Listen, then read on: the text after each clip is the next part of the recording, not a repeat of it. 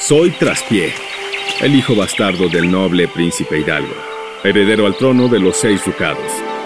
Después de ser rechazado por mi familia, fui llevado a la corte real donde crecí bajo la tutela del arisco caballerizo de mi padre. Los miembros de la realeza siempre me han considerado un plebeyo, salvo el rey Artimañas, que ordenó a su secretario me adiestre en las artes del asesinato. Así que, mientras los bárbaros invasores saquean nuestras costas, yo me preparo para enfrentar mi primera misión. Y, aunque hay quienes ven en mí una amenaza para el trono, quizás sea yo el único que realmente posee el secreto para la supervivencia del reino. Tal vez hayas oído hablar de mí. Esta es mi auténtica historia. Robin Hood marca el comienzo de una nueva época en la literatura fantástica.